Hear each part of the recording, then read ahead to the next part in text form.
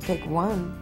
Cause I, you know, one episode that I thought was really good was the Hurricane Fran episode.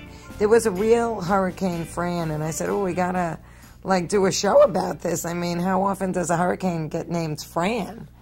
So um, Miss Fine decides to go with her girlfriend Val to um, like the Caribbean and hurricane, and there's a hurricane, and uh, it was just really a lot of very funny physical comedy because they brought in these fans that go like 40 miles an hour winds and we're like trying to enjoy our vacation even though clearly there's a hurricane going on.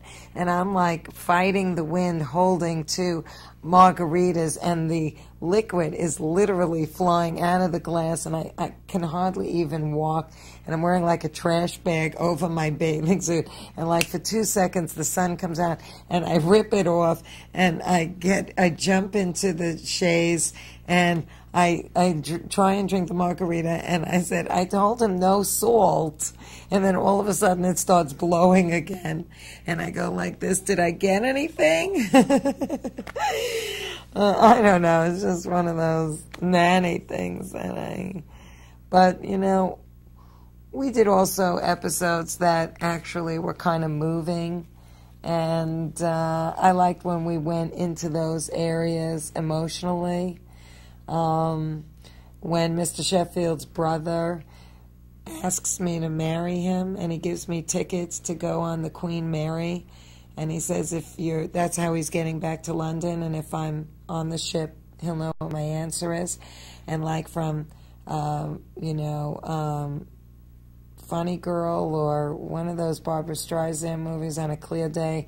I mean, but I think it was Funny Girl. She just goes running, holding a bouquet, the bouquet of flowers that he sent her with the tickets and her bag. And, you know, she just goes running through the streets of Manhattan. And we actually shot it on location in Manhattan and misses the boat by a minute. She sees it as it, as it goes away and uh, she fell. She hurt her ankle, and she comes hobbling home with the dead flowers, and um, kind of sad that it didn't work out. And then Mr. Sheffield comes home, and uh, he, and she's sitting in the living room depressed, and he said, "Miss Fine, is everything okay?"